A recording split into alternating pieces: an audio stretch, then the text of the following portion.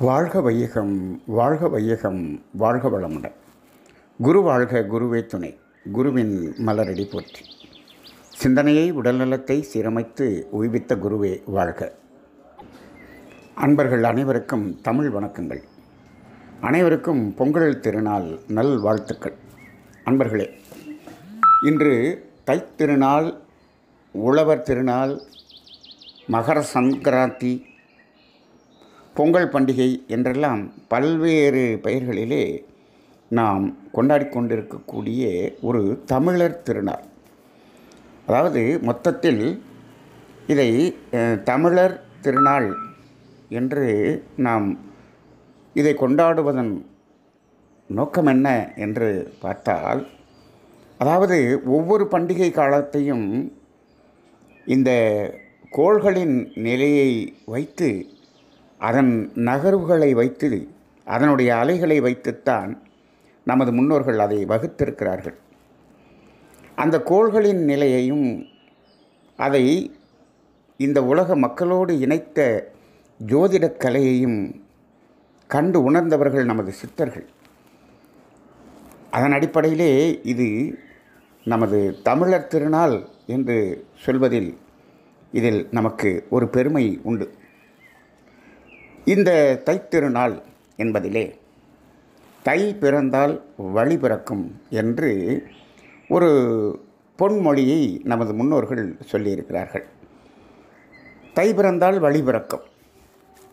எப்படி பிறக்கும்? எதை வைத்து இதை கூறினார்கள்? என்று நாம் ஒரு சிந்தனை செய்து பார்த்தோம் என்று சொன்னால் அதாவது இந்த சூரியனுடைய நகர்வு சூரியன் தெற்கு திசையிலிருந்து வடக்கு திசையும் வடக்கு திசையிலிருந்து தெற்கு திசையும் நகர்வது போல ஒரு பாவனை நமக்கு தெரியும். இதைத்தான் உத்தராயணம் தட்சிணாயணம் என்று சொல்வார்கள். உத்தராயணம் என்றால் தெற்கு கோடியிலிருந்து வடக்கு நோக்கி பயணி பயணத்தை சூரியன் ஆரம்பிக்கும் நாள். தட்சிணாயனம் என்றால் வடக்கு கோடியிலிருந்து தெற்கு நோக்கி பயணிக்கக்கூடிய நாள். இப்பொழுது இந்த தை ஒன்றாம் தேதி என்பது உத்தராயணம் என்று தெற்கு கோடியிலிருந்து வடக்கு நோக்கி சூரியன் நகர்கின்ற முதல் நாள் இந்த நாள். இது சூரியன் நகர்வது அல்ல பூமி சாய்வாக இருந்து கொண்டு அது லேசாக அசைந்து கொண்டே தற்சுழல் என்ற சுழற்சியும் சுற்றுகிறது. சூரியனையும் சுற்றி வருகிறது. பூமிக்கு தற்சுழற்சி என்று ஒரு சுழற்சி இருக்கிறது என்பது தெரியும். அது சுற்றி கொண்டே இருந்தாலும் அது அந்த பூமி அந்த ஒரு குறிப்பிட்ட டிகிரி அளவுக்கு அது அசைகிறது. இந்த அசைவு சூரியன் நகர்வது போல நமக்கு தெரிகிறது. ஆக இந்த பூமியையும் சூரியனையும் சூரியனிலிருந்து இந்த பூமிக்கு வரக்கூடிய அலைகளையும் வைத்து நமது முன்னோர்கள் பல்விதமான ஒரு பண்டிகைகளை நமக்கு வகுத்து கொடுத்திருக்கிறார்கள். அது எதற்கு என்று சொன்னால் இந்த இயற்கையை உணர்ந்து கொண்டு அந்த இயற்கையின் அந்த அலைகளுக்கு தகுந்தாற்போல் நமது வாழ்க்கையை அமைத்துக் கொள்வதற்காக.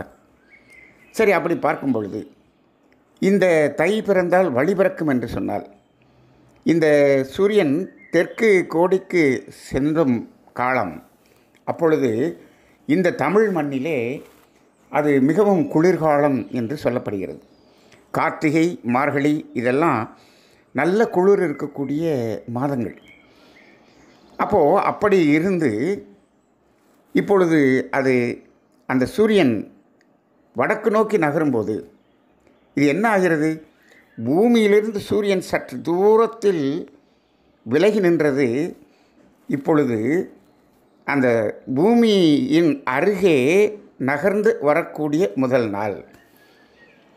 அப்படி வரும்பொழுது என்ன ஆகிறது? இந்த குளிர்காலம் என்ற அந்த பனிகாலம் என்பது விலகி மீண்டும் அந்த சூரியன் பூமியை நெருங்கி அதனுடைய அலைகள் நமக்கு ஒரு அற்புதமான ஒரு ஆற்றலை கொடுக்கக்கூடிய காலங்களாக வரப்போகிறது என்பதை உணர்த்துவது தான் இந்த நாள். அப்போ பார்த்தீங்கன்னா பொதுவாக இந்த குளிர்காலங்கள் வரும் பொழுது பார்த்திங்கன்னா இங்கு நிறைய ஒரு உடல் சார்ந்த நோய்களினால் பாதிக்கப்படுபவர்கள் அதிகமாக இருப்பதை பார்ப்போம். இந்த குளிர்காலங்களிலே. அந்த தொற்று பரவுதல் இன்ப இந்த மாதிரியான சாதாரணமாக ஒரு சளி போன்ற அந்த உடல் தொந்தரவுகள் கூட அதிகமாக இருக்கக்கூடிய ஒரு காலம் இந்த காலம். அதிலிருந்து ஒரு விடுதலை பெறக்கூடிய முதல் நாள் இந்த நாள். இதை வைத்தும் தை பிறந்தால் வழி பிறக்கும் என்றும் நம் அதை நாம் உணர்ந்து கொள்ள முடியும். அது மட்டுமல்ல இப்போ தை மாதம் அறுவடை முடிந்த நேரம். இதன் பிறகு இப்போ சூரியன் பூமியை நோக்கி வருவதை பார்க்கிறோம். இது வடக்கு கடைசிக்கு செல்லும் போது அங்கே ஆணி மாதம் என்று ஆகிவிடும். அதாவது தை மாசி பங்குனி சித்திரை வைகாசி ஆணி ஆறு மாத காலம். ஆறு மாத காலம் இவ்வாறு இங்கிட்டு பயணிக்கும் போது அந்த சூரியனிலிருந்து வரக்கூடிய அந்த அலைகள் அந்த ஆற்றல்கள் முழுவதும் இந்த பூமியின் மண் அந்த சக்தியை ஈர்த்து மண்ணுக்குள்ளாக வைத்துக்கொள்ளக்கூடிய ஒரு காலம்.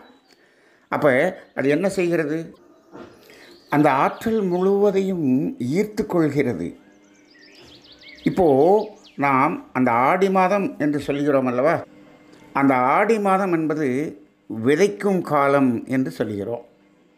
அதற்கு முன் அந்த விதைப்புக்கு ஏற்ற அந்த மண்ணை தயார் செய்யும் காலம் என்று சொல்கிறோம். இப்போது தை பிறந்தால் வழி பிறக்கும் என்பதை நாம் இப்படி ஒரு பார்வையில் பார்க்கலாம். அதாவது அந்த சூரியன் அந்த உத்தராயணம் என்று நகன்று வர வர வர வர அந்த காலத்திலே இந்த பூமி அந்த சூரியனுடைய அந்த சக்தி முழுவதையும் ஈர்த்து அந்த மண்ணில் அந்த சக்தி நிரம்பி இருக்கக்கூடிய ஒரு காலம் என்று வைத்துக்கொள்வோம் இந்த காலத்தில் என்ன சொல்லுவாங்கன்னா இந்த வயல்களிலெல்லாம் என்ன செய்வார்கள்? இந்த தக்கப்போடு என்று சொல்வார்கள். இந்த நைட்ரஜன் அதிகமாக கிடைக்கக்கூடிய அந்த செடிகளை வளர்த்து அந்த செடிகளை மீண்டும் அந்த மண்ணுக்குள்ளாகவே அமுக்கி உழுது விடுவார்கள். அப்போ இந்த காலத்தில் அந்த மண் என்பது அந்த காந்த செறிவு நிறைந்த ஒரு ஆற்றல் திணிவு பெற்ற ஒரு மண்ணாக மாறிவிடுகிறது. அப்போ என்ன பண்ணுறோம் அந்த ஆடி மாதம் விதை விதைக்கும் பொழுது இந்த ஆற்றல்களையெல்லாம் எடுத்து அது மீண்டும் அற் அற்புதமான ஒரு விளைச்சலை கொடுக்கக்கூடிய பயிராக மாறுகிறது என்பதையும் நாம் இதை உணர்ந்து கொள்ளலாம். ஆக தை பிறந்தால் வழி பிறக்கும் என்பது நமது இந்த மண்ணுக்கு கிடைக்கக்கூடிய ஆற்றல் இந்த மண்ணாலாகிய இந்த உடலுக்கு கிடைக்கக்கூடிய ஆற்றல் இந்த நோய்களிலிருந்தெல்லாம் ஒரு விடுதலை. அப்படி பல்வேறு வகையிலே இந்த தை ஒன்றாம் தேதி அந்த சூரியன் இங்கிட்டு அதாவது வடக்கு நோக்கி நகர் நகரும் அந்த உத்தராயணம் என்பது நமக்கு ஒரு பயனுள்ள மாதமாக அமைகிறது என்பதை இயற்கையின் ரகசியங்களை உணர்ந்த நமது முன்னோர்கள் இந்த நாளில் தை பிறந்தால் வழி பிறக்கும் பல்வேறு வகையில் நமக்கு ஒரு நல்ல ஒரு ஆரோக்கியமான ஒரு சூழல்கள் உருவாகும் என்பதைத்தான் இவ்வாறு சொல்லியிருக்கிறார்கள். இதை மகர சங்கராந்தி என்றும் சொல்கிறோம். மகர சங்கராந்தி என்றால் இது மகரம் இப்போது நமது ராசி வீடுகளிலே பன்னிரண்டு ராசிகளிலே மகரம் என்பது ஒரு ராசி. இந்த மகர ராசியில் முதல் முதலாக சூரியன் இன்று பயணிக்கக்கூடிய நாள் பயணத்தை தொடங்குகின்ற நாள் இந்த நாள். அதுதான் மகர சங்கராந்தி. இப்போது இந்த சூரியன் மகரத்தில் சஞ்சரிப்பது என்பது அதில் என்ன ஒரு விசேஷம் என்று பார்க்க வேண்டும். இப்பொழுது பாருங்கள் சூரியன் என்பது உயிர்காரகன் ஆத்மகாரகன் என்று சொல்கிறோம். அப்போ சூரியனை உயிராகவும் சந்திரனை மனமாகவும் பார்க்கிறோம் மனோகாரகன் சந்திரன் இது உயிர்காரகன் சூரியன். இப்போது அப்படி உயிர்காரகனாகிய அந்த உயிராகிய சூரியன் எங்கு பயணிக்கிறது என்று சொன்னால் மகரத்தில் இன்று முதல் பயணிக்கிறது. மகரம் என்பது யாருடைய வீடு? சனியினுடைய வீடு. சனி என்பவர் யார்? ஆயுள்காரகன். இப்போ பாருங்கள் இந்த உயிர் ஆத்மகாரகன் என்று சொல்லக்கூடிய சூரியன் ஆயுள்காரகனாகிய சனியினுடைய வீட்டில் பயணிக்கக்கூடிய நாள் இந்த நாள். இந்த மாதம் முழுவதும் அந்த சனியினுடைய வீட்டில் இருக்கக்கூடிய ஒரு காலம். அப்போது இது அந்த அடிப்படையில் இது ஒரு அந்த ஆயுள்காரகணம் உயிர்காரகணம் இணைந்து பயணிக்கக்கூடிய ஒரு நாள். இதில் இந்த வருஷம் என்ன விசேஷம்னா அந்த மகர ராசிக்கு உரிய சனி மகர ராட்சியிலேயே ஆட்சி பெற்று இருக்கக்கூடிய ஒரு காலம். இது முப்பது வருடங்களுக்கு ஒரு முறை தான் நடக்கும். அப்போ அந்த மகர ராசிக்குரிய சனி மகரத்திலேயே ஆட்சியாக இருந்து அந்த ஆயுள் காரகன் என்று சொல்லக்கூடிய சனியோடு அந்த அவருடைய வீட்டில் சூரியன் பயணிக்கக்கூடிய காலம் இந்த தை மாதம். ஆக இந்த மகர சங்கராந்தி என்பதும் அந்த வானியல் ரீதியாகவும் இந்த உயிரும் அந்த ஆயுள் காரகனாகிய சனி என்ற வீட்டில் இணையக்கூடிய ஒரு பயணம் செய்யக்கூடிய ஒரு காலம் என்பதையும் நாம் இதில் புரிந்து கொள்கிறோம். அந்த அடிப்படையிலே இந்த தை திருநாள் என்பது. தை பிறந்தால் வழி பிறக்கும் என்பதற்கு உரிய ஒரு விளக்கத்தை நாம் இந்த கோள்களின் அடிப்படையிலும் அதிலிருந்து வரக்கூடிய அலைகளின் அடிப்படையிலும் இது ஒரு வழி பிறக்கக்கூடிய ஒரு நாள் என்றுதான் நாம் இதை உணர்ந்து கொள்கிறோம். அனைவருக்கும் தைத்திருநாள் வாழ்த்துக்கள் பொங்கல் நல் வாழ்த்துக்கள். வாழ்க வையகம் வாழ்க வையகம் வாழ்க வளமுடன்.